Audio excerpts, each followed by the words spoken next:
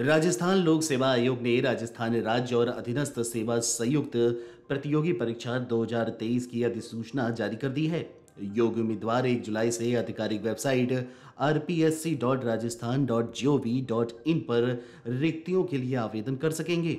संपूर्ण आवेदन पत्र जमा करने की अंतिम तिथि 31 जुलाई आधी रात तक है। R S R T S भर्ती का लक्ष्य कुल 905 रिक्तियों को भरना है।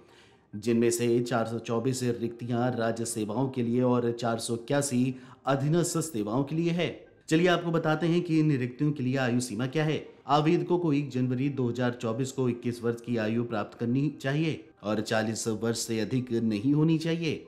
आरक्षित श्रेणी के उम्मीदवारों के लिए ऊपरी आयु में छूट उपलब्ध है। वही उम्मीदवारों के पास भारत में केंद्रीय राज्य विधानमंडल के एक अधिनियम द्वारा निगमित किसी भी विश्वविद्यालय से डिग्री हासिल होनी चाहिए। सामान्य वर्ग के आवेदकों को छह सौ रुपए आवेदन शुल्क का भुगतान करना होगा, जबकि E W S S C S T और अन्य आरक्षित वर्ग के उम्मीदवारों को चार सौ रुपए का भुगतान करना होगा। अधिसूचना में इसकी अधिक से अधिक जानकारी भी दी गई है, जिसे वेबसाइट में जाकर अभ्यर्थी देख सकते हैं। Video desk, Amar Ujala dot com. Amar Ujala, अब आपके टीवी पर भी। अपने स्मार्ट टीवी पर यूट्यूब पर सर्च करें अमर उजाला। चैनल सब्सक्राइब करें और देखें ताज़ा खबरें। वो भी एचडी क्वालिटी में।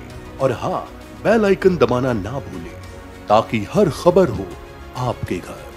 अमर उजाला, निष्पक्ष निर्भी निरंतर।